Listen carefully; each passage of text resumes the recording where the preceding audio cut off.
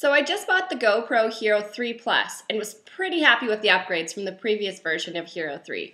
I even found it on sale from the link I put in the description below. For the small additional cost of a new Plus version, it's definitely worth it for the better battery life, which sucked for Hero 3.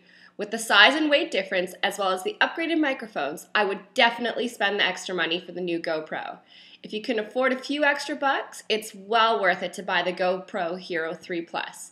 It's the best camera out there right now, and you can find it for the best price right now from the link below.